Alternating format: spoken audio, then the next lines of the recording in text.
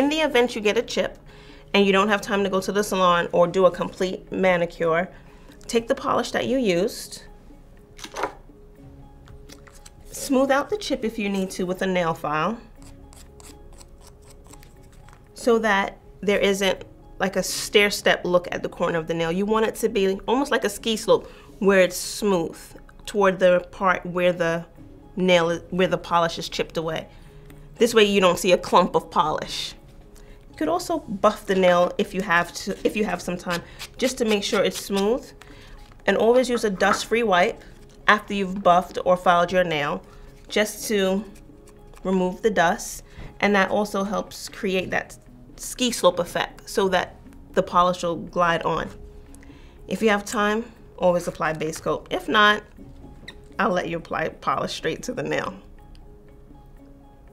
Always use just enough polish so that you have control and don't apply it to the entire nail. Always apply it where the chip is.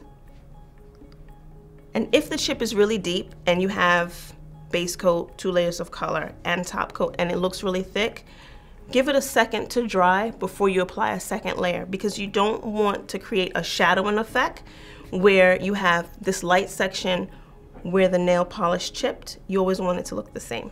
Consistency.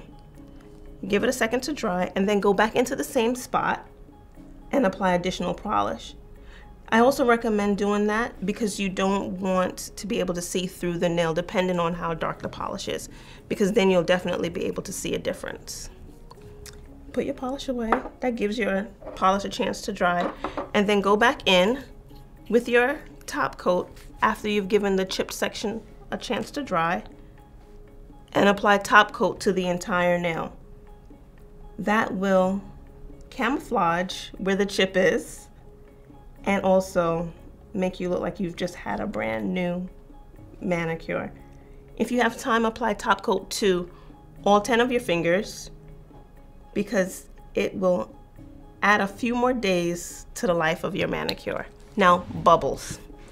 No one wants to get bubbles in their in their manicure because they're hard to fix, but the same rule applies to a smudge.